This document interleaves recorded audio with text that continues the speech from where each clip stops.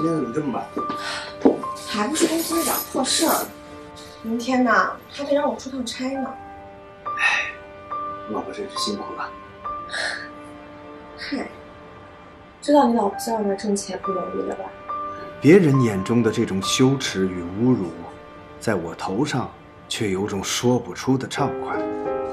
我要做的是慢慢积累，一直等到最后再爆发。几乎每个周末，我都会去趟岳父岳母家，目的很明确，表表孝心，提前为最后的大爆发做准备。我来看看你们。